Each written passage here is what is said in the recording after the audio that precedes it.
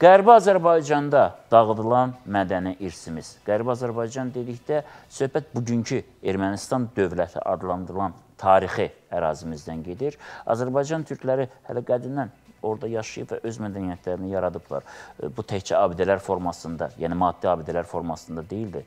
Digər mədəniyyət nümunələri də olub və vaxtaşırı ermənilər 200 il ərzində onu ya dağıdıb, ya erməniləşdirib, ya da başqa bir hala salaraq öz tarixlərinin tərkib hissəsi kimi təqdim etməyə başlayıblar. İrəvan ərazisi, İrəvan xanlığı, İrəvan mahalları ərazisində Azərbaycanlıların keçdiyi tarixi mədəni bir yol var və bu yol onun abidələrində əks olunur.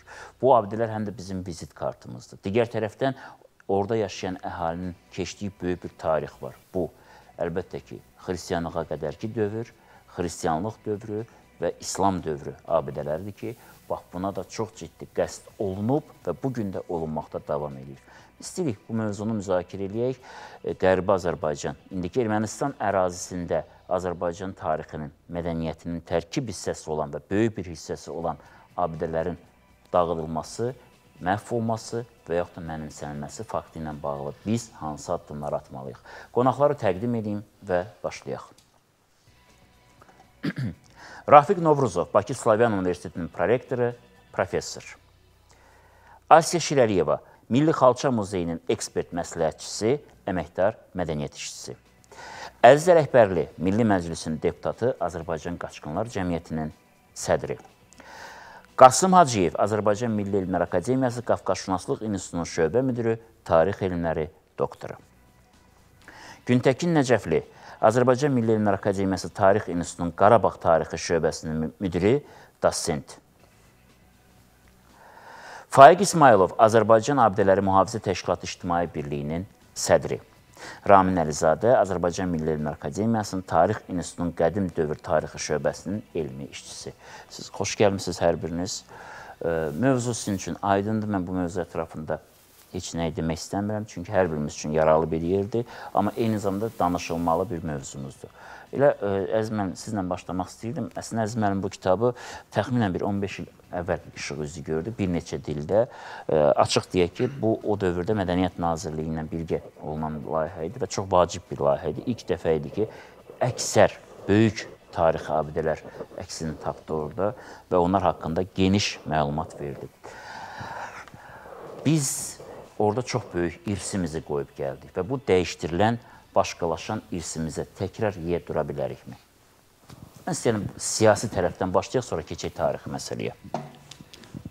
Təbii ki, Qərbi Azərbaycan ərazisi son qarışına qədər tarixi Azərbaycan torpaqlarıdır e, və e, Azərbaycan, bütöv Azərbaycan ərazisindəki tarixi dövlətlərin tərkib hissəsi olubdur e, və ona görə də bu ərazi, o ərazinin e, maddi mədəniyyət abidələri, insanları, yəni e, bütöv Azərbaycandan təcriddə mümkün deyil.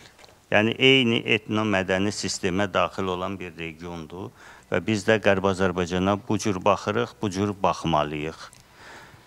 Təəssüf ki, tarixin müəyyən bir dövründə Qərb Azərbaycan e, bütöv Azərbaycandan xeyli dərəcədə ayrıldı. Bilirsiniz, e, Rusiya işğalı nəticəsində burada müəyyən Rusiya, Çar Rusiyasının ərazi inzibati bölgüsü yaradıldı və daha sonra burada qondarma 18-ci ildə tarixdə ilk dəfə olaraq qondarma erməni dövləti yaradıldı. Zaman-zaman soydaşlarımız oradan qovuldu, çıxarıldı. O ərazidəki e, insanlarımızla bərabər, e, insanlarımız soyqırımına məruz qalmaqla bərabər, abidələrimiz də soyqırımına məruz qaldı mühit dağıdıldı.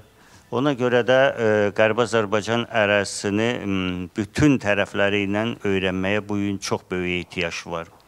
Abidələrimizi də, toponimlərimizi də, yeraltı, yerüstü sərvətlərimizi də, yəni bunları hamısını əvvəlcə mənəvi cəhətdən millətin sərvətinə çevirmək lazımdır.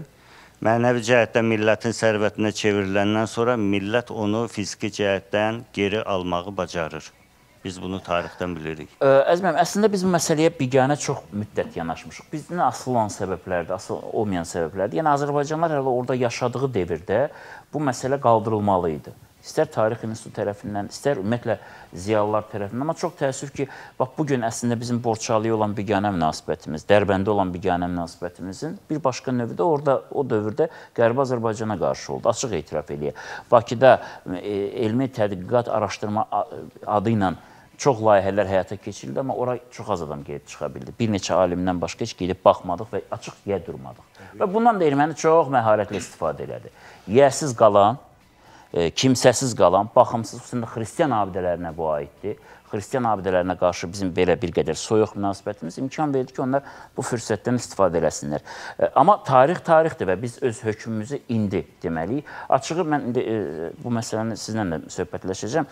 Amma e, Qasım müəllim, baxın, e, Qafqazşünaslıq mətləb məsələsinə biz toxunuruq. Bəli. Yaxud da Tarix İnstitutunda müxtəlif şöbələr var. Mən, şəxsən mən düşünürəm ki, ümumiyyətlə İrəvan təkcə tarixi yox, o bölgənin mədəniyyətini, hər bir şeyində özünə ehtiva edən elmi tədqiqat mərkəzinə, böyük bir mərkəzə ehtiyac var bu gün.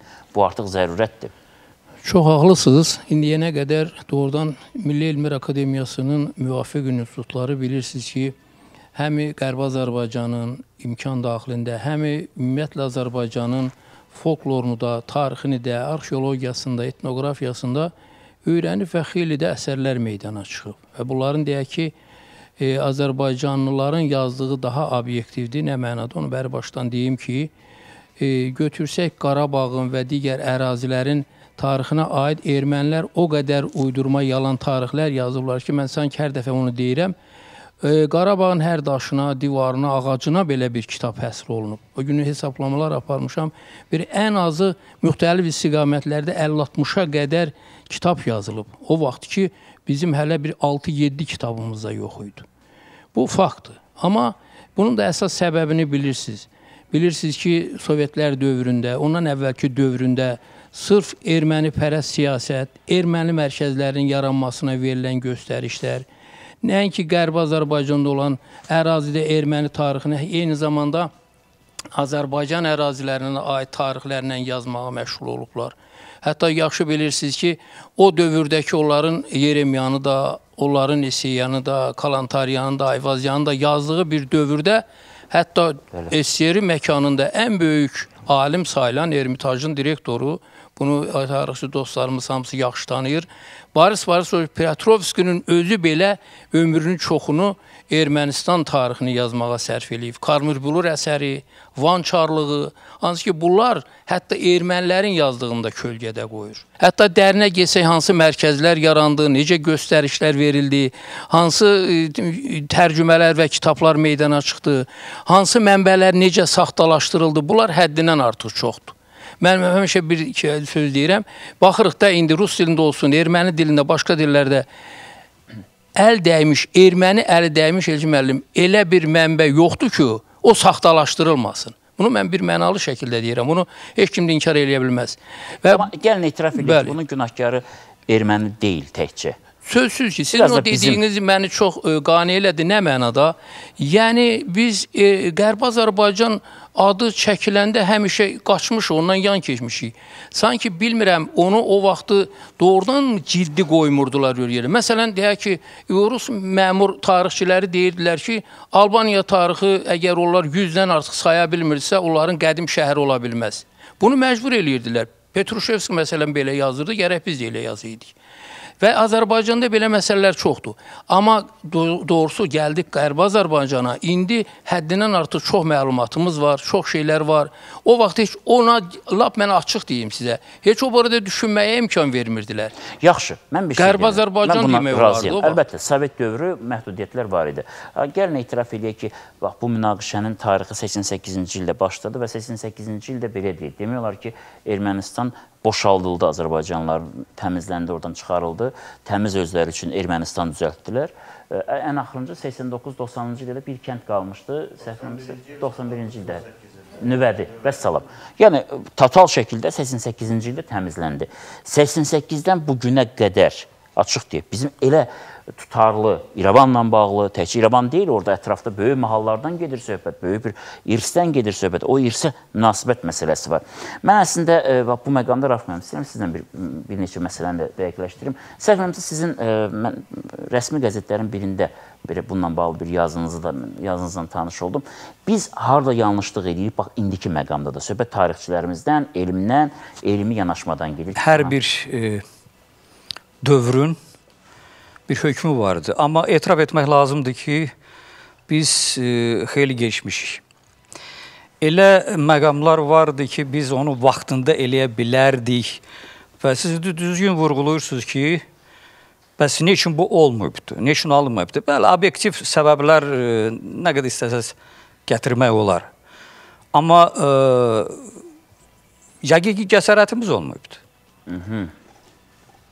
Çünki e, bir siyasi cəhətdən, siyasi hökmranlıq cəhətdən, ikinci tərəfdən mənə elə gəlir ki, e, indi son zamanlar biz onu müşahidə edirik ki, elmi əsərlərin, e, elmi tədqiqatların tək Azərbaycan dilində yox, ümumiyyətlə əcnəbi dillərdə, rus, ingilis, fransız, alman dillərində bizdə olmayıbdı. Və təəssüflər olsun ki, ermənilər bir balaca ayrı yanaşırdılar.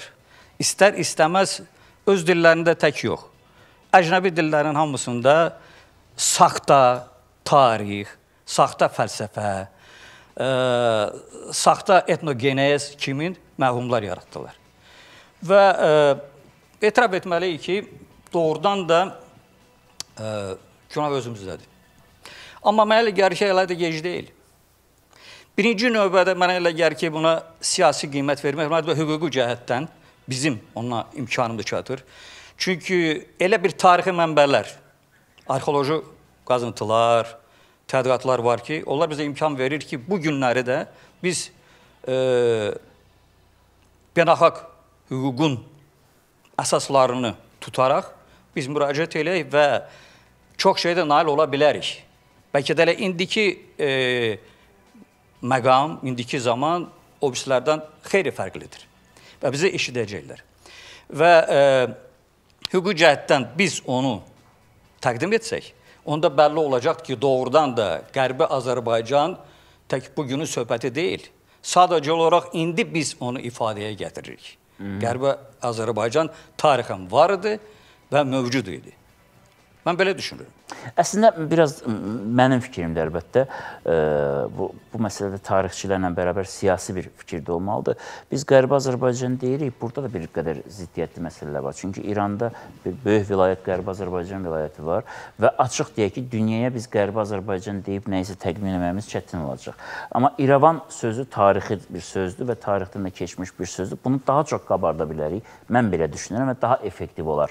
Çünki yenə təkrarlayıram, Qərbi Azərbaycan sözünü işlədəcəyik. İnternetdə axtarış verəndə daha çox e, indiki İranda olan Qərbi Azərbaycan o standarlığı çıxacaq. Bax bu məqamlar bilirsiniz də internetin öz dili var, axtarış sistemlərinin öz dili var. Biz məcburuq bu dillərdə danışaq. Siz bayaq amma çox gözəl bir məqama toxundunuz, iradə məsələsi.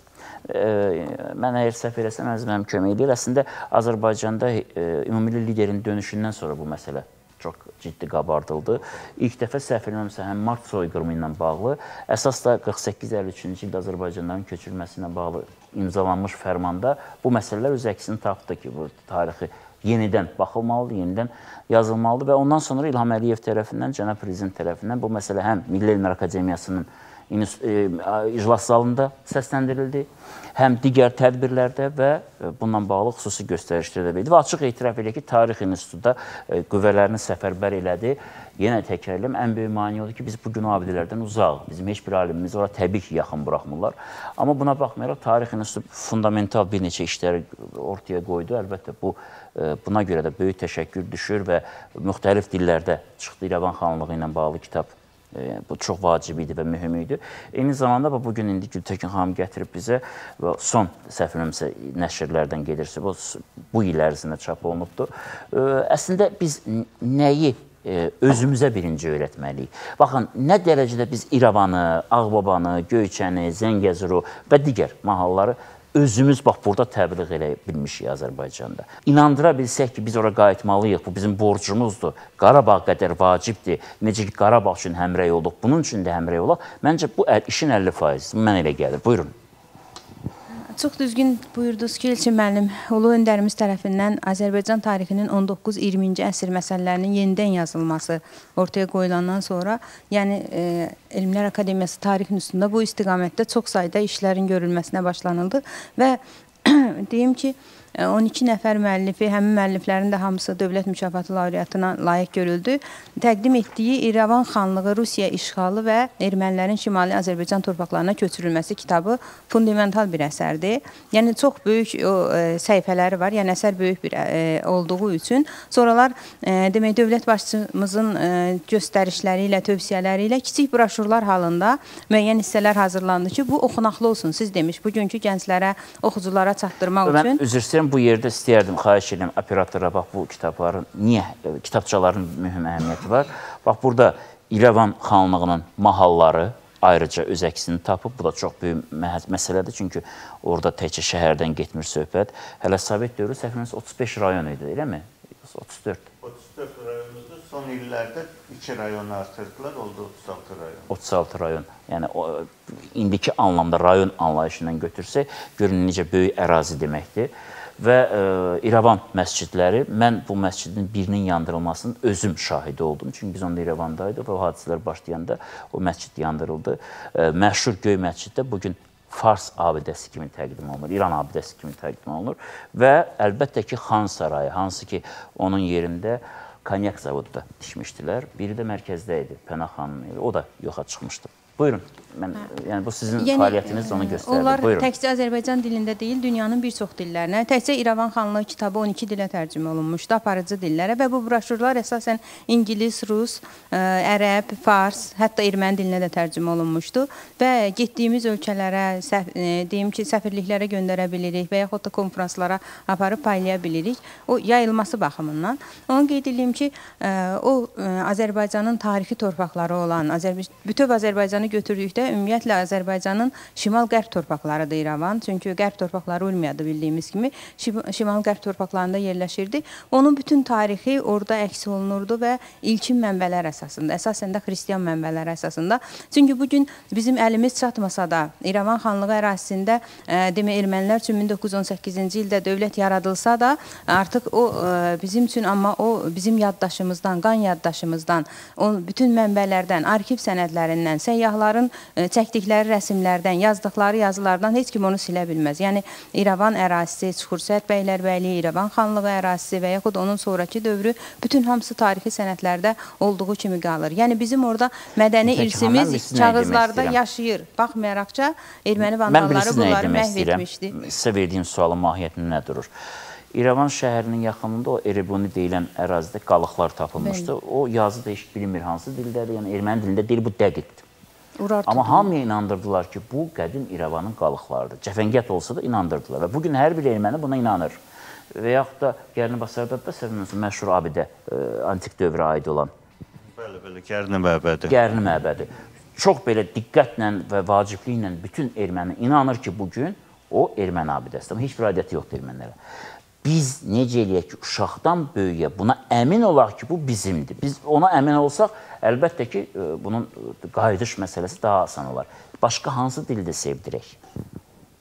Dediyim kimi o kiçik broşurlar məsələ az yaşlılar üçün nəzərdə tutulmuşdu. Biz bütün onları həmin o Urartu qalıqların, Urartu abidələrin e, Ramin Əlzadə burada tarix üstünün təbii ki, məlumat verəcəkdi. O Urartu yazıların ermənilərin ümumiyyətlə Urartu dövlətinə sahib çıxması çoxdan ifşa olunmuşdu. Yəni o e, istər dünya tarixçiləri tərəfindən, rus tarixçiləri tərəfindən artıq o tədqiq olunmuşdu və onların heç bir aidiyyəti yoxdur. Yəni Erebuni qalası Ergişdin dövründə salınan abidələrin həm də indiki İrəvan onun yerində deyil. Onlar ona e, xeyli aralıda olan bir abidənin qalıqlarından söhbət gedir və bütün bunlar o yazılarda biraz da sadə dildə, yəni oxunaqlı dildə göstərilir, mənbələri ilə göstərilir. Hətta erməni tarixçilərinin özünün məlumatları var idi ki, məsələn İrəvan xanlığı dövründə 18-ci əsrin ikinci yarısı 19-un əvvəllərində Şah Əziz Hin İrəvan əsəri var, qədim İrəvan əsəri. Orada göstərirdi ki, İrəvan şəhərinin özündə ermənilər yaşamırdılar.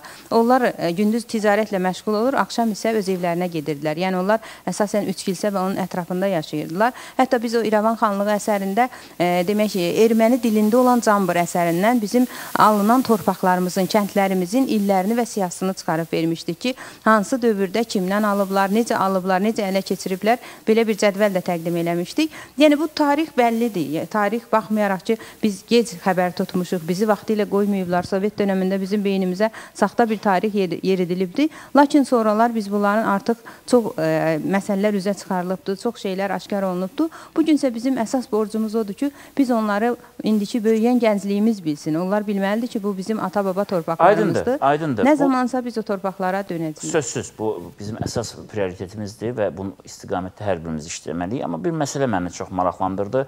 Faiq müəllim, biz o abidələri bu gün qorumaq üçün nə edə bilərik? Hansı Ümumiyyətlə abidələrimizin vəziyyəti orada necədir? Bax burada indi yenə təkrar edirəm. Biz onların indiki vəziyyətini görmə imkanımız yoxdur, amma burada ən azı Sovet dövrünün olan şəkilləri var, Ləzmənin də kitabında var, digər kitablarda da var. Bunların ən azı mühafizəsi üçün nəsə eləyə bilərikmi sizcə? Yəni istər beynəlxalq aləmdə, istər lokal Mən təşəkkür eləyirəm o müəlliflərə ki, ən azından o fotoşəkilləri əldə eləyib bu kitabları zamanında e, çap eləyiblər. Yəni bugünkü gündə əlimizdə olanlar da bunlardır. Ümumiyyətlə Qərbi Azərbaycanda mütləq şəkildə deyək ki, abidələrin sayı barədə söhbət açmaq mümkün deyil. Ona görə ki, həmin ərazilərdə abidələr e, qeydiyyata aparılmayıbdır və bundan biz xəbərsizik. Sadəcə, sadəcə deyək ki, müxtəlif e, arxiv sənədlərindən və digər məlumatlardan və hətta ki, ermənilərin özlərinin bilib və yaxud da ki, bilmədikləri paylaşdıqları e, məlumatlardan biz əldə eləyirik ki, yəni bu ərazilərdə bizim nə qədər abidələrimiz var vardır. Bugünkü gündə ermənilərin birmənalı şəkildə Qərbi Azərbaycanda Azərbaycanlıların yaşamaması, yəni türklərin orada mövcud olmamasını isbatlaya isbatlamaq e, ideyaları var və bunu da e, çox böyük e, məharətlə icra eləyirlər. Yalansa da icra eləyir və özünə də inandıra bilirlər. Amma həmin ərazilərdə 391 məscidin müsəlman məscidinin olması bu o deməkdir ki, yəni həmin ərazilərdə İslam dini nə qədər qüvvədə olub və orada türklərin yaşadığı e, ərazilər nə qədər geniş olubdur. Amma həmin 30-cu 40-cı illərdə burada tarixçilərimiz də var. Bunlar da deyə bilərlər ki, İrəvan ərazisi, yəni İrəvan deyirik. Yəni mən Qərbi Azərbaycan ərazisində 5 erməni məscidi fəaliyyət göstəribdi. Yəni sonralar biraz onu saylarını artırıblar. Ondan sonra deyim ki, Qafqaz Albaniyası dövrü xristianlıq abidələri və xristianlığa qədər olan abidələrin e, kilsə və yaxud da ki, monastır statusu veriblər, adını yazıblar və bunu bu cürdə təbliğ eləyiblər. Bugünkü gündə biz həmin abidələri e, deyək ki, ermənilərdən e, haqqı sübut eləmək üçün əlimizdə geniş imkanlar var. Birinci növbədə nədir bu? Birinci növbədə budur ki, abidələrin özünü memarlıq quruluşu bunun hansı dövrdə və kim tərəfindən yaradıldığını əyani şəkildə sübut eləyir. Yəni bura başqa ə, e, gətir and içim söhbəti yoxdur. Yəni bu özü özünü təsdiq eləyir. Ə, e, ermənilər bəzi abidələrimizin üzərində son dövrlər başlayıblar onları orijinal e, deyim ki, görüntülərini dəyişməyə Yəni bunu orijinal görüntülərini dəyişirlər. Məsələn deyək ki, Mehridə onlar 1-ci Şah Abbas tərəfindən tikilən bir karvansarayının ümumi məzmununu dəyişiblər və həmin monastır kimi təqdim eləyirlər. Halbuki həmin deyək ki, e, karvansarayın içərisinə girəndə Azərbaycan miniatür sənətinin orada çox gözəl nümunələri vardır və həmin miniatür sənətinə onların əlavə etdikləri bəzi kişi, qadın şəkilləri orada çox kobud şəkildə və sonradan yaradıldığını e, deyək ki, e, göstərir. Adi heç ekspert olmasan belə adi bir insan tərəfindən görünür. O ki qaldı bu abidələrin mühafizə olunmasına. Bəli, birinci növbədə bu UNESCO təşkilatı tərəfindən mütləq şəkildə bu məsələ bizim tərəfimizdən qaldırılmalı və bu məsələdə birgə monitorinqin keçirilməsinə e, şərait yaradılmalıdır. Həmin monitorinq zamanı biz həmin abidələrin mövcudiyyətini nə qədər mən e, deyək ki, mənim özümün deyək ki, hesablamalarımda biraz 8 minə qədər burada tarix mədəniyyət abidələri mövcuddur. Burada daxildir deyək ki, memarlıq abidələri, tarix abidələri, incəsənət abidələri abidələr, arxeoloji abidələr və s. Deyək ki, amma bunlarda deyək ki, mütləq şəkildə mən bu günləri rəsmi şəkildə elan elədim. Bu deyə bilərəm, yəni mən bir ziyalı kimi, amma e, bunun mütləq rəsmi təsdiqi yoxdur. Ona görə də bu monitorinqlər keçirilməli və bu təsdiq olunmalıdır. İndiki vəziyyətdə nə qədər abidələrimiz mövcudiyyətini qoruyub saxlaya bilib. Hal-hazırda, yəni bizim orada indi qeyd elədi həmkarda, yəni monitorinq aparmağımız mümkün deyil. Yəni biz indi ə, Qarabağ ərazisində tarixi mədəni abidələrin monitorinq aparılır, onlar qeydiyyata alınır. Mən burada nəyə toxunmaq Başqa istəyirəm? bir sual verim. Başqa Buyurun. bir UNESCO məsələsi. Fərz eləyək ki, bu ərazidən köçən insanların adındanmı, hansısa bir qurumun adındanmı rəsmi sorğu göndərilə bilərmi ki, bax burada yaşayan əhaliyə məxsus bu abidənin taleyi bizi maraqlandırır. Bununla bağlı Siz, bir arayış versinlər. Yəni məsələ belədir ki, tarixi mədəni abidələrin qorunması ilə bağlı, yəni mühafizəsi ilə bağlı müxtəlif konvensiyalar, müxtəlif hüquqi qanunvericilik, yəni bazası bu dünya belə deyək ki, ictimaiyyətin də məlumdur ki, beynəlxalq təşkilatlar səviyyəsində, hətta BMT səviyyəsində bu qanunvericilik aktları mövcuddur və Azərbaycan hökuməti də rəsmi şəkildə istənilən bir tədbiri bu dediyimiz istiqamətdə görəndə addım atanda əlbəttə ki, bu qanunvericilik aktlarına istinad edir. Necə ki, bütün dünya buna istinad edir. Mən burada əsas toxunmaq istəyirəm bu tədqiqatların aparılmasında Biz hardasa bir e, belə deyək ki, indiki dövrdə e, bir yarımçıqlıq e, var mövcuddur. Şey Bu da nə ilə bağlıdır? Kompleks şəkildə getmir. Məsələn, Aman, İrəvandan danışırıq. Mən niyə bir üzr istəyirəm bu sözü mən deyim. İrəvandan danışırıq. Biz İrəvanı bu gün dünya təqdim etmək istəyirik. Amma hansı İrəvanı? 16-cı, 17-ci əsrdən sonra təqdim elədiyimiz İrəvanı. Biz İrəvanı erməni nə deyir? Erməni dəvət eləyir ora, arxeoloqu deyir, bax bu torpağın üstündə bunu tikib türk müsəlman. Amma bunun altın qazıram, urartu çıxır. Burada haqlısınız, amma bir məsələni deyirəm mən. Heç nə demirəm. Bax bu ən az siyahılar var əlimizdə. Hələ ki o şahidlər yaşayır. O torpaqlardan gələn insanlar yaşayır burada. Onun əsasında bir inventar nömrəsi tərtib edib, siyahıya alıb, rəsmi olaraq Azərbaycan mədəniyyət irsinin tərkib hissəsi kimi təqdim etməyə bizə nə mane olur? Bayaq onu dedim ki, yəni kompleks şəkildə araşdırmalar aparılmalıdır. Məsələn, Qərbi Azərbaycanı uzun müddət Albaniya dövlətinin tərkibinə aid eləmirlər. Yəni mən açıq deyim də, istər Sovet dövründə olsun, hal-hazırki dövrə qədər Azərbaycan Albanşünaslığında da bax yarımçıqlığın əsas hissələrindən biri budur. Albaniyanı aparıb çıxardırıq Qarabağda, qərb sərhəddi qutarır Qarabağda. Yəni Göyçədə, e, Qarabağ dağlarında. Ondan o tərəfənə biz Albaniya dövlətinin tərkibinə daxil görmürük yəni. Bunu biz belə deyək, bugünkü o sahəni araşdıran mütəxəssislərin kitablarında və yaxud tədqiqatlarında hansısa bir araşdırmalarında görmürük, rast gəlmirik. Dərsliklərə də düşmür bu. Məsələn, Azərbaycan e, belə deyək ki, Respublika Təhsil Nazirliyinin nəşr elədiyi dərsliklərin, yəni bilavasitə cavabdeh olduğu dərsliklərin biz görmürük Qərbi Azərbaycanın, Göyçənin tarixi yoxdur. İrəvanın qədim tarixi yoxdur. İndi biz bu gün belə deyək ki, burada ə, aktual hesab edirik ki, bu məsələ niyə görə təbliğ olunmur? Niyə biz bilmirik bunları? Niyə biz bunları ə, dünya ictimaiyyətinə düzgün çatdıra bilmirik? Çünki onu bizim özümüzə düzgün çatdırmırlar. Yəni bu məsələ burdan qaynaqlanır. Əgər o ə, 90 93-cü ilə qədər, yəni 1-ci Qarabağ savaşına qədər Mən həmişə o məsələyə toxunmuşam ki, Azərbaycan əskəri üstündə gəzdiyi torpağı vətən hesab eləyirdi. Niyə görə? Çünki evi eşiyi oradaydı, orada ata-babaları yurt salmışdı, məzarları oradaydı. Hər bir şey, bütün maddi, mənəvi dünyası oradaydı. Ona görə qoruyurdu. Amma torpağın altında yatan tarixdən xəbəri yox idi. Və 93-cü ildən bu günə qədər Yəni 2-ci Qarabağ savaşına qədər müddət ərzində Qarabağ tarixi haqqında gör nə qədər biz biliklər əldə elədik. Niyə? Çünki dərsliklərə düşdü bu məsələlər. Araşdırıldı, təbliğ olundu. Qarabağ xanlığı Sovet dövründə hansı dərslikdə keçilirdi? Əlbəttə keçirdi. Amma bu, bu, bu son Qarabağ, 2-ci Qarabağ savaşında döyüşən əskər artıq məlumatlı idi ki, o torpaqda onun tarixi var. Bilirsiniz, biz müdafiə mövqeyindən deyirəm, bu Qərbi Azərbaycanın tarixin biz e, belə deyək ki, tam dolğunluğu ilə çatdırmalıyıq, göstərməliyik. Razıyam. Məsələn, Albaniya mən məsələyə yekunlaşdırım. Ümumiyyətlə Qərbi Azərbaycan ərazisində Göyçə göl ətrafında 14-ə e, qədər Urartu kitabəsi var. Bu kitabələrdən biri Zağalı kəndində Basar keçərdə e, Göyçənin cənubunda deməli yazılır o kitabənin üstündə eradan əvvəl 743-cü il Urartu hökmdarı 2-ci Sardurun dövrünə aiddir. O kitabədə yazılır ki, bu ərazilərdə olan tayfaların, ölkələrin adları, hətta Sardurun dövründə Alban ölkəsinin adı çəkilir. Bu Alban ölkəsi.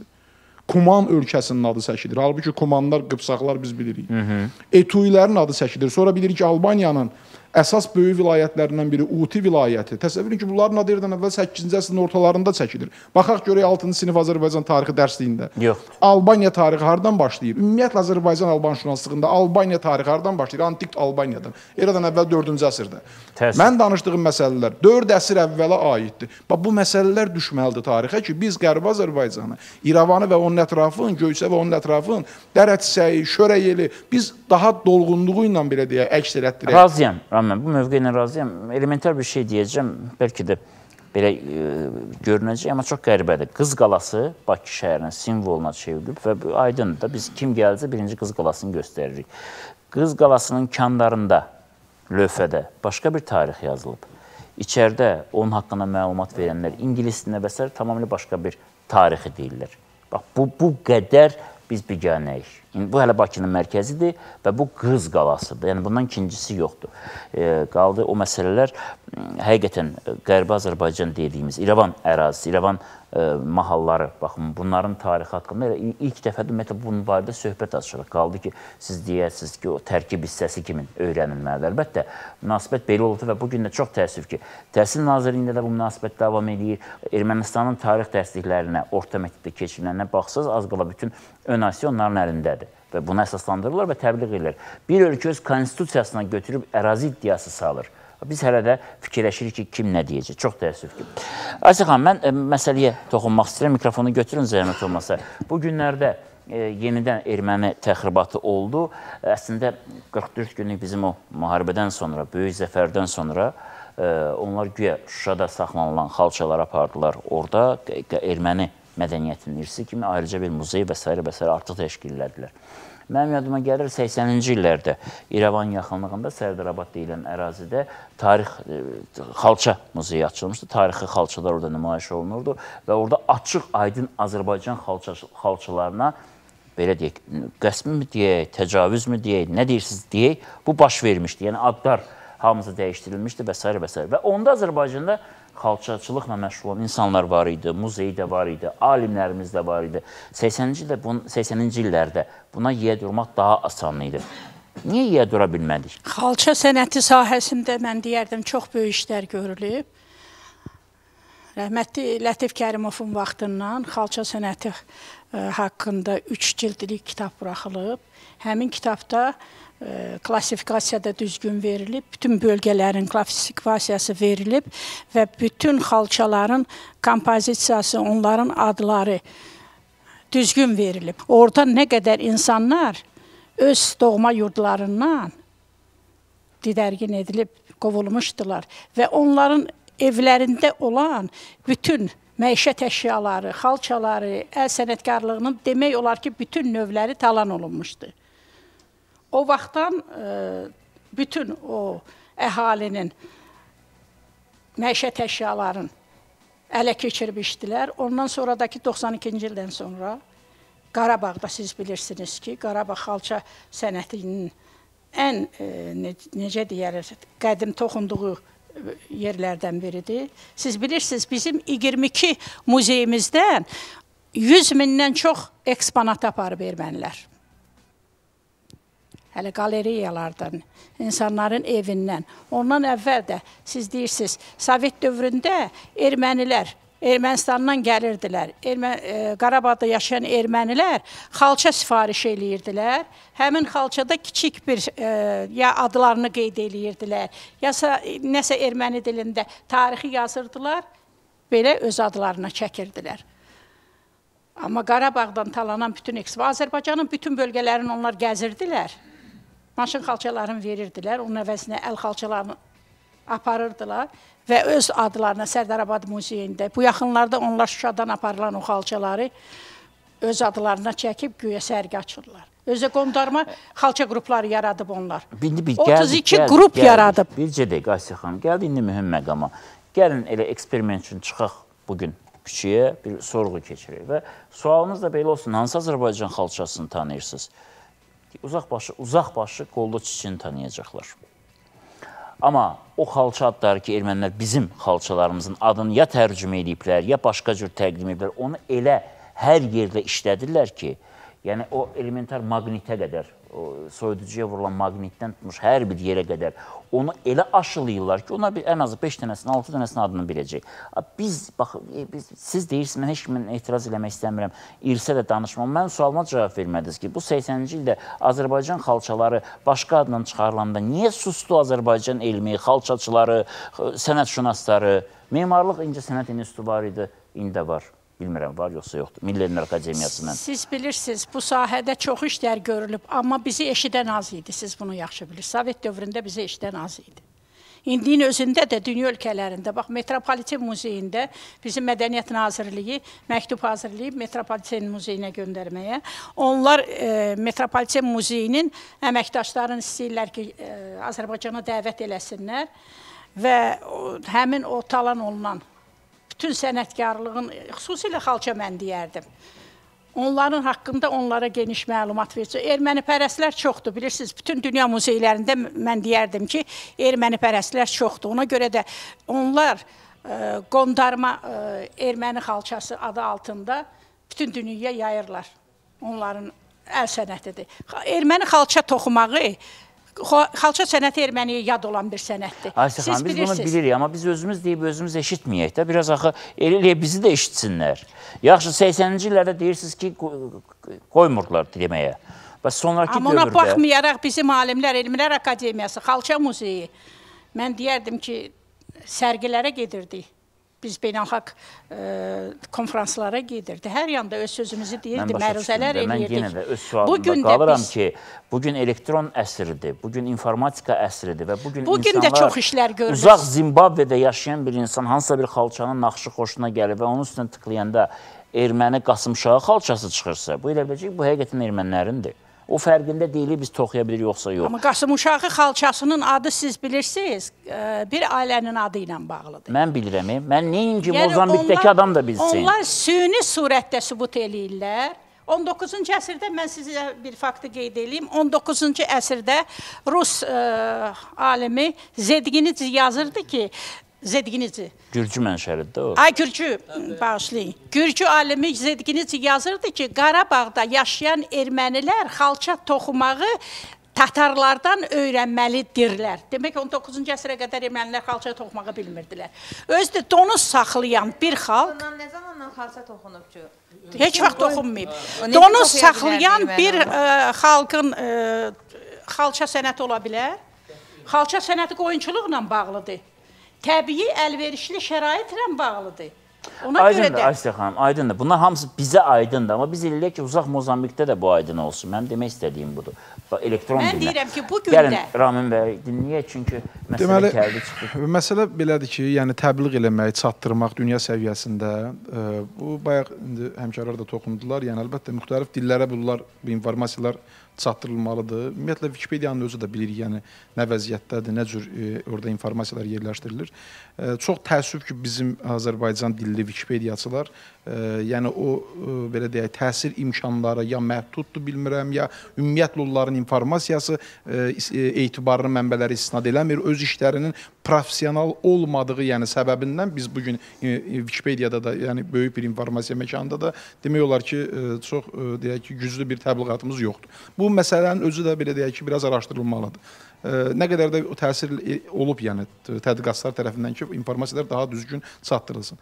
Mən burada bir məlumata toxunmaq istəyirəm. Yəni bu 1917-1920-ci illərdə bilirik ki, Qərbi Azərbaycanın deməli Göyçə göl ətrafında, İrəvan ətrafında, Zəngəzurda, Qarabağda, ümumiyyətlə Cənubi Qafqazda türk müsəlman əhalisinə qarşı erməni daşnaqların törətdiyi qırğınlar zamanı çox məşhur erməni qulduru deməli Andranik Ozanyan bu deməli Zəngəzurda Tatev kəndində Zəngəzur hakimlərinə, yəni yerli Sak soyundan olan Zəngəzurun son hakimlərinə ermənilər onu Sünük knyazı kimi qələmə verirlər. Onların tikdirdiyi Tatev kilsəsinin deməli bunlar böyük zəngi olub, məşhur zəngi olub 3 ton ağırlığında. O zəngi hal-hazırda o zəng yoxdur. Biz maraqlandım bir balaca bu sahədə araşdırma apardım. Məlum oldu ki, Deməli, e, oranı Sovet dövründə də muzey kimi istifadə ediblər, həmin Tatev kilsəsinin e, fəaliyyət göstərib. Çünki üzr istəyirəm, mən özüm də Qubadlı rayonundanam. Yəni yaxındır Gorusa. Yəni o barədə məlumatı dəqiq inform informatorlardan mən yəni danışdırmışam və onların verdiyi məlumatdır. Orada da bələdçi də, yəni orada həmişə deyir erməni bələdçisi ki, burada zəng olub, məşhur və 20-ci əsrin əvvəlində o zəng yoxa çıxıb. Həmin zəngi Andranik deməli e, Tuncdan olub e, və onu doğratdırıblar. O zəngi öküzlərə qoşulmuş arabalardan İskəndərin limanına aparıblar. Orada fransızlara təhvil veriblər metal kimi. Fransada həmin e, deməli zəngdən top düzəldilib, silahlar düzəldilib, müxtəlif silahlar və Qarabağda həmin o Zəngəzurda həmin o zəngdən düzəlmiş silahlarla türk müsəlman əhalisi soyqırıma məruz qalıb. Bax faciə tarixi mədəni abidələrə, yerli irsə, tarixə, böyük, yəni ermənilərin vurduğu zərbə budur. Biz bu məlumatı üzr istəyirəm 100 il bundan qabaq olmuş məlumatdır və nə qədər də bu barədə informasiyası olan insanlar var o bölgədə. İndi çoxu da aydın məsələdir ki, rəhmətə gedib. Amma belə məlumatları biz görmürük. Bunların təbliğatını görmürük. Zəngəzuru bu gün erməni e, öz torpağı kimi yəni qələmə verir. Baxaq görək orada olan ən qədim yaşayış məskənləri Corusun yaxınlığında Yaycı kəndindən eradan əvvəl 7-6-cı əsrə aid Dolukakuran kəllə sümükləri tapılır. Necə olur ki, Göyçənin ətrafında Dəli qardaşdan şimalında Ördəklidən ermənilər özləri 50-ci illərdən 90-cı illərə qədər Petrosyan Mnatskyanyan iki erməni arxeoloqu qazıntılarda 300-ə qədər kəllə sümüklərini aparıb Orta Tunc, Son Tunc dövrünə aid kəllə sümüklərini aparıblar Ermənistan Dövlət Muzeyi, Tarix Muzeyinin e, deməli e, padvalını zirzəmisində saxlayıblar. Yox, Həmin o kəllələr ki, onları bunaq 20-ci əsrin əvvəllərində Rus antropoloqu Bunak onları Göyçədə yaşayan İskit tipi olduğunu qeyd edir. Bunun Armenoid tipinə nə dəxli var? Bunun erməni tarixinə nə dəxli var? Yəni bu həmin dövrlər idi ki, Sovet dövründə ermənilər öz tarixlərində Martirosyan, Tirasyan, Esayan, Aqanesyan kimi o e, dırnaqarası arxeoloqlar öz kitablarında və Sovet tarixi, SSR tarixi deməli çox cildliyində yazırdılar ki, o ərazidə, yəni Azərbaycanın qərbində Drevnoarmiyanski period olub antik dövrə qədər. Onlar o kitablarında həmişə belə yazıblar. Amma bizim alimlər yaza bilmirdi ki, bu Drevni Azərbaycanski perioddur. Çünki oranın əhalisi qədim dövrdən ta ki o 18-ci ilin e, deməli 20-ci əsrin sonlarında o deportasiya tədbirlərinə, soyqırımlara qədər oranın əhalisi Azərbaycan türkləridir. Mən bir dənə də fakta toxunum ki, 1886-cı il artıq köçürülmə baş verib, neçə 10 illik ki, köçürülmə olub. 1886-cı ildə e, deməli Rusiyada tərtib olunmuş etnoqrafik xəritədə İrəvan quberniyasının etnoqrafik xəritəsində Göyçə göl ətrafına, İrəvan ətrafına biz baxırıq ki, yenə o vaxt Azərbaycan əhalisi müsəlman tatarlar adlandırırdılar. Əhali, yəni sayı baxımından da, ərazi baxımından da biz statistikaya istinad eləyirik. Amma xəritələr o statistikanı təsdiq eləmir. Xəritələr, üzr istəyirəm, Qarabağ adın Qarabağ xanlığından da əvvəl çəkildiyini göstərir. Azərbaycan Tarix Muzeyində 1349-cu ilə aid sonuncu Elxani hökmdarı Ənişravanın dövründə zərb olunmuş, üzərində Qarabağ yazılan qədim pul var. Biz bunu dünyaya çıxartmalıyıq. Biz bunu verməliyik dərslərimizdə. Dünyanı qoyduq bir qırağa. O pulun təsvirləri var. Gen üzr istəyirəm, başqa şey demək istəyirəm. Niyə geniş təbliğ olunmur? Bax necə ki xarı bülbül milli simvola döndü. Misal üçün o görüntü, o şəkil, o rəsm, o təsvir tirajlana bilər daxı. Olar. Mən onu demək istəyirəm. Onu təbliğ edən kimdir? Elçin bəy, onu təbliğ edən kimdir? Ruben Galiciyan adında bir erməni kartoqrafı. Hal-hazırda Ermənistanda o şərait yaradılıb yaxşı. Ermənistan tarixi atlası laboratoriyası yaradıblar. Onu qoyublar rəhbəri. Özü Təbrizdə doğulan ermənidir. İngiltərədə, Amerikada təhsil alıb. Hətta ə, e, orada lobbinin belə deyək ki, fəaliyyətini işıqlandırıb. Hı -hı. Həmin adam indi oturub Ermənistanda Ermənistan tarixi atlasın e, tarix qədim və orta əsrlərə aid xəritələrdə izləyir, kataloqlar buraxır. Çox maraqlıdır ki, 1459-cu ildə məşhur Venesiyalı e, deməli rahib e, deməli Fra Mauro'nun hazırladığı Mappa Mundo, yəni dünya xəritəsi adlı böyük bir xəritədə, o xəritədən biz e, mən çıxarış eləmişəm. Yəni istəsəz təqdim də eləyə bilərəm. E, orada deməli söhbət 1459-cu ildən gedir.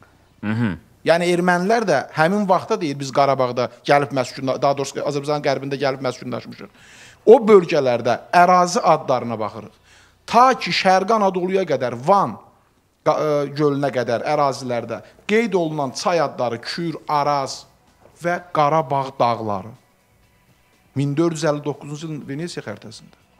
Biz Bunlar mənə aydın bunu oldu. erməni üzr istəyirəm. Qarabağ xanlığından yapışır ki, sən burada Qarabağ xanlığını yaratmısan. 1748-ci ildə Cavanşir türk soyundan Pənahəli xan bunları qəbul elədi. Bəs ona qədər Qarabağ. Mən də sual verirəm. Ona qədər biz Qarabağın tarixin hansı səviyyədə təqdim eləmişik? Razıyam, Mənbələrdən razıyam, söhbət gedir. razıyam. Yəni biz biz fikir Çox yaza doğrudur. bilərik, deyə bilərik, bir-birimiz haqqında yəni gözəl təriflər deyə bilərik, amma biz hansı mənbələrə çünki xarici mətbuat, alimi tədqiqatçısı o mənbəyə baxır. O mənbəni göstərəndə artıq o başa düşür onu. Elçi müəllim, bu yerdə elə mən də bir istərdim bir fikrimi Buyurun. bildirim. Ardıcıllıq doğrudan da çox maraqlıdır. Biz hələ ə, orta əsrlər xəritəsini deyirik. Skibitsinin xəritəsini belə biz görməmişdik indiyənə qədər. Hı -hı. Hamı yaxşı bilir ki, tarix fakültəsində hətta o vaxt oxuyanlar belə Mir Mövsüm Nəvvabın 1905-6-cı il qırğının Erməni müsəlman qırğını kitabını üzün görən olmayıb. Mən inanmıram görən olsun. O Redki fond adı ilə elə yerə qoyurdular ki, onu heç kim görə bilmirdi. Məmməd Səid Ordubadinin yazdığını oxuyan, görən olsaydı, bilirsinizmi o hadisələr o qədər dəhşətli olmazdı. Təəssüflər olsun ki, bunların heç birinin nəinki o bir xəritələri, hətta özümüzün Azərbaycanlıların yazdığı kitabları bizim oxumağımıza imkan vermirdilər. Azərbaycan tarixi e, ancaq rus dilində çıxdı 61-ci ildə və ondan heç Azərbaycan dilləri onu çevirməyə də imkan vermədilər. Beləliklə doğrudan da o qədər e, dəhşət şeylər var, amma mən bu Qasım, mən yerdə istəməzdim. Mən- bir şey də deməliyəm. Qoy, qoy bunu da deyim. Buyurun. E, Bilirsiniz nətərdir? Ətə, əgər bunlar haqqında bu qədər indi məlumat var, axtardıqca arxı sənədlərdə çıxır, o xəritələr meydana çıxır. Bunlar məlumdur.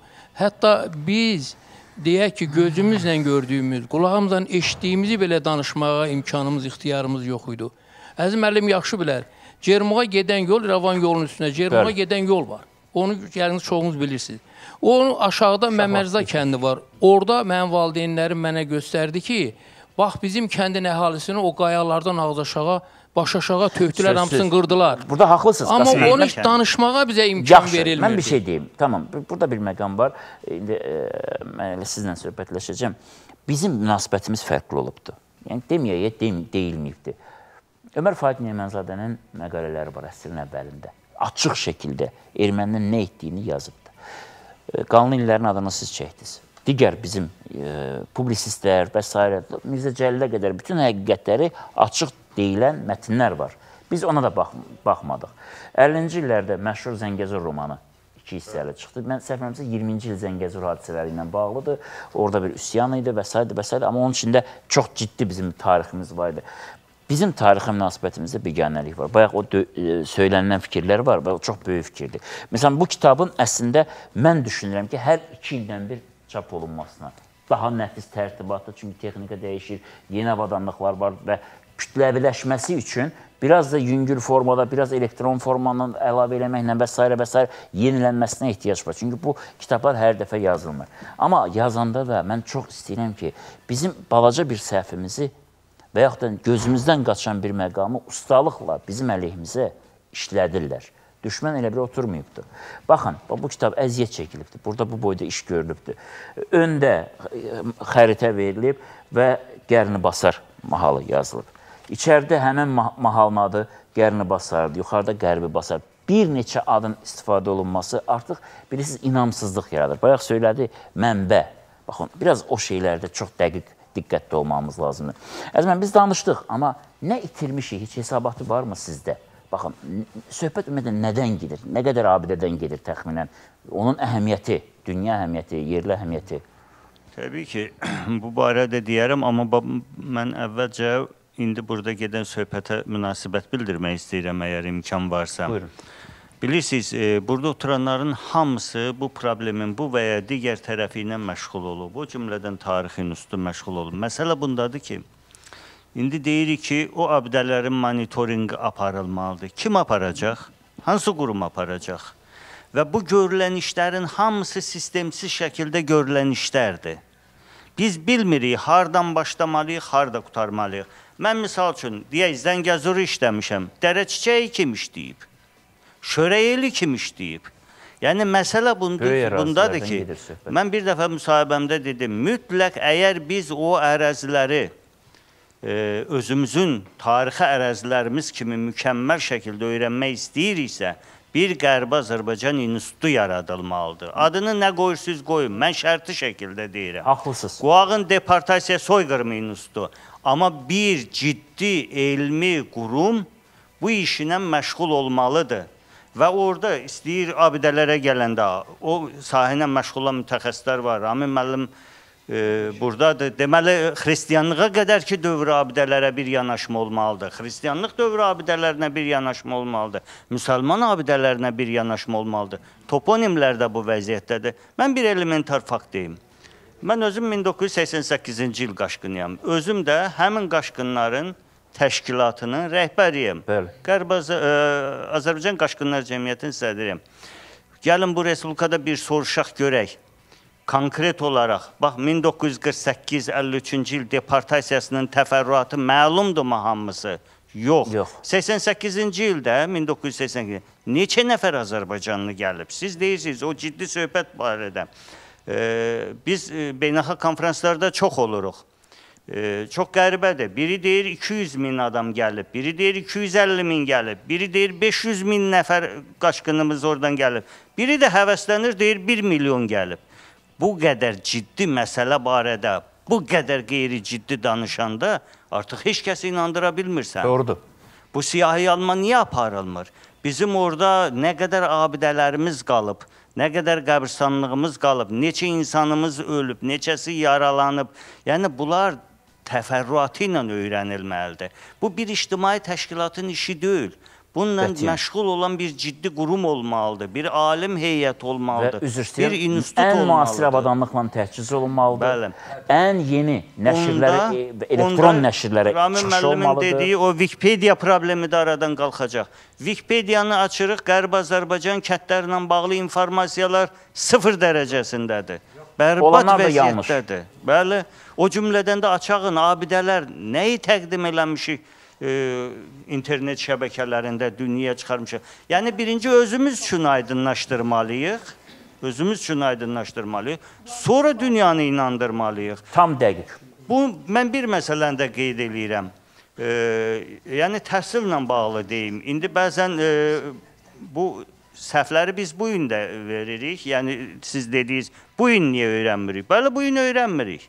Çünki dediyim kimi o qurum söhbəti var. Qərbi Azərbaycanda biz təhsil alanda bizə nə öyrədirdilər? Bakıdan tarix kitabı gəlirdi, coğrafiya kitabı gəlirdi. Biz Kəpəz dağını öyrənirdik, Qoşqarı öyrənirdik. Göygöl öyrənirdik. Biz Göyçəni öyrənmirdik. Bəli. Biz Zəngəzuru öyrənmirdik. Ala gözdən xəbərimiz yox. İdi. xəbərimiz yoxdur. Hətta orada yaşayanlara belə.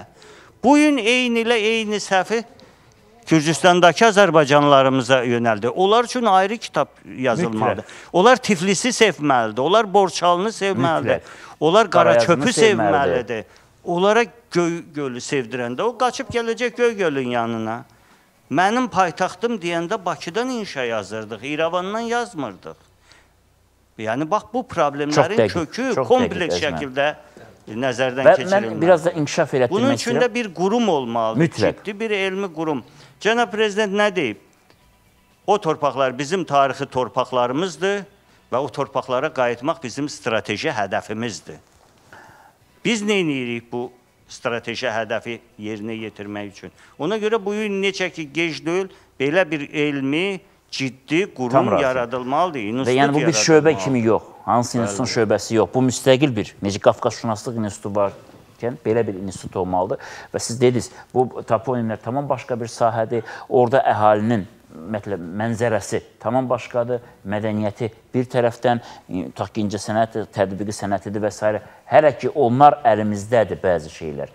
Tutaq Biz ki, indi məcburiyyət qarşısında bəli, biz hansı yolu tarixi. seçdik? Azərbaycan Qaşqınlar Cəmiyyətində biz icmalar yaratdıq. Bəli. Kənd icmaları rayon icmalarında birləşir, respublika icmasında birləşir. Bunu niyə elədik? Çünki kənd icması olmasa, kənd icmasını yaratmasaq, o biz kəndin, həmin kəndin nə abidələrini müəyyənləşdirə bilirik, Nə qeydiyyat ala bilirik, nə toponimlərini, dağdərə adlarını, nə qəbirstanlıqlarını, bunların heç birini öyrənə bilmirik. Bunu ancaq bütün respublika boyu səpələnmiş həmin o qaşqınları öz kəndlərinin icmasında formalaşdırmaqla, birləşdirməklə oradakı bütün faktların biz qeydiyyatını apara bilirik.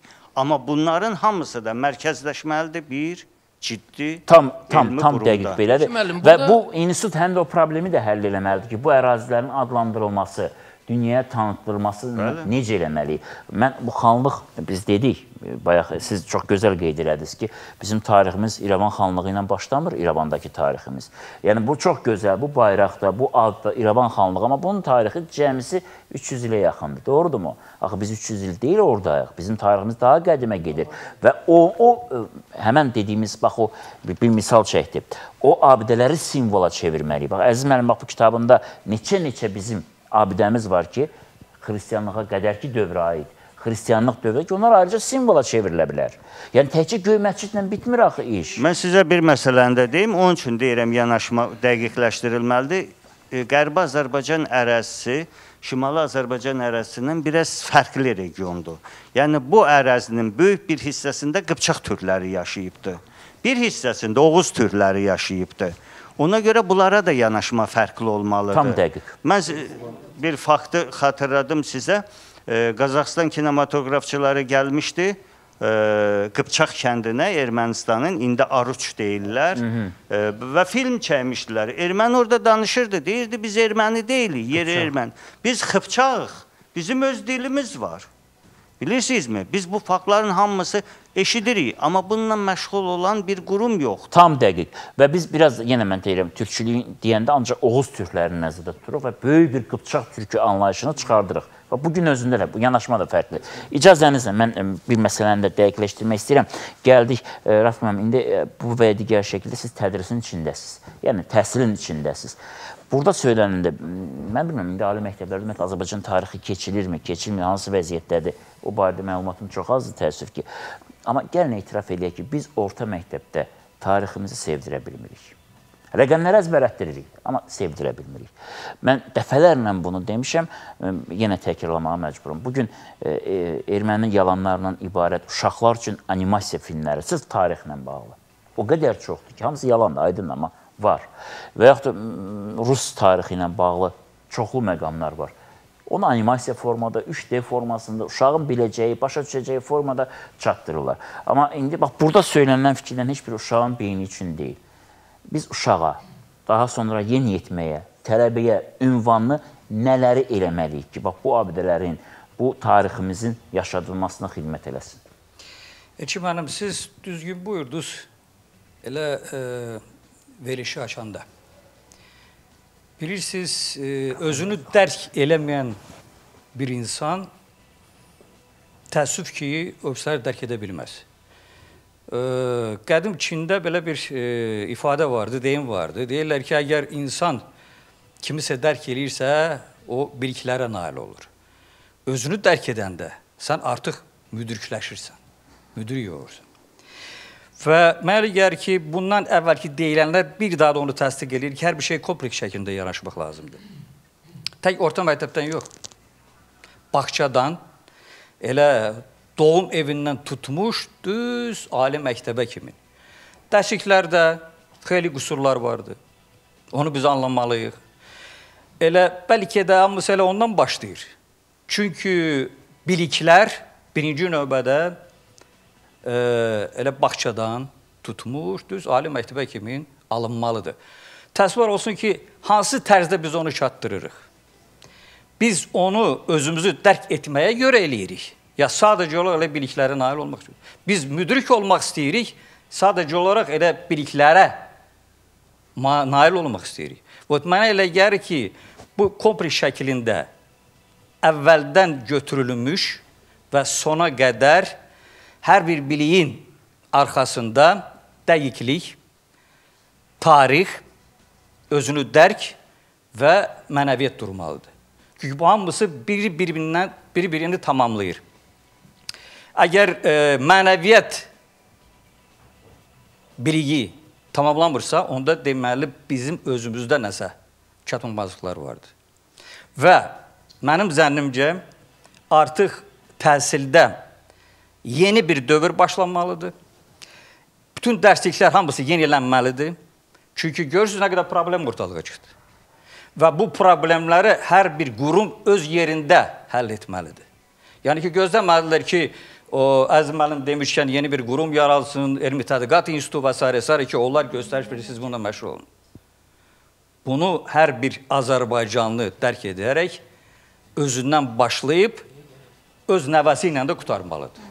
Mən sizdən tam razıyam və e, sözsüz ki, burada səslənən fikirlər elə burada qalmayacaq. Biz bugündən etibarən hər həftə Qərbi Azərbaycan və onun abidələri haqqında silsilə verilişlər eləyəcək və mən elə istəyərdim, əziz mənim bu söhbəti açdı, Qıpçaq məsələsini, gələn mövzunu, böyük bir mövzuna həsr eləyək və bu məsələyə də bir işıq gətirək, bir işıq salaq bu məsələyə.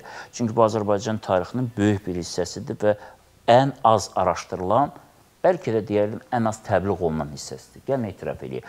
Biraz da e, Qıpçaq deyəndə açıq deyək, Dədə Qorqud filmindəki o mənfi obrazla hər şey bitir, amma Azərbaycan ərazisində Qıpçaqlar yaşayıb və bu gün də onların izləri var. Elə bizim özümüz hamımız Oğuz türkü deyilik içimizdə Qıpçaq türkləri də var. Bu məsələ biz bir qədər başqa cür yanaşmalıyıq. Ümumiyyətlə etiraf eləyək ki, bizim İrəvana və İrəvan mahallarına olan münasibətimiz də dəyişməlidir. Biz özümüzün içindən keçirməliyik, o abidələri bir-bir keçirməliyik. Hələ şahidlər yaşayırkən biz o məsələni mən ona görə deyirəm ki, bir rəsmiləşdirilməsinə ehtiyac var. Hələ o şahidlər yaşayır və o şahidlərin haqqı var onu tələb eləməyə. Beynəlxalq aləmdən də digər e, qurumları da bura qatmaqla, çünki bu bizim haqqımız və biz haqqımızı geri qaytarmalıyıq. Biz Qarabağı qaytardıq 44 gün ərzində. Bütün dünyaya sübut elədik ki, biz bunu bacardıq. Zəfəri çaldıq və zəfər bizimdir, böyük qələbə bizimdir. Qarşımızda qoyulan hədəf isə tarixi Azərbaycan torpaqlarının bərpasıdır. Yenidən təkrar edirəm, tarixi Azərbaycan torpaqlarının bərpası. Biz heç kim torpağını işğal eləmirik. Biz öz tarixi, haqqımızı özümüzə qaytarırıq və əlbəttə ki, buna daxilən, içdən inansaq, buna mütləq biz nail olacağıq və bu bizim əsas hədəfimizdir. Bu gün Qərbi Azərbaycandan, İrəvandan danışırıq. Təbii ki, unutmamalıyıq ki, bizim Borçalımız var, bizim Dərbəndimiz var və böyük, nəhəng Güney Azərbaycanımız var. Bütöv Azərbaycan ideyası, fikri bizim hər birimizin əsas qayəmiz olmalıdır və buna doğru getməliyik. Görüşərik.